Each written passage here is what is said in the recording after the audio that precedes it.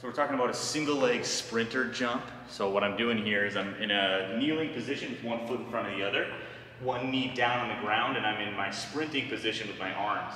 I'm driving down into my heel, and I'm driving up through that heel as high as I can, and then I'm bringing that opposite knee through, and then I have my opposite arms coming through as well to imitate a sprinting position.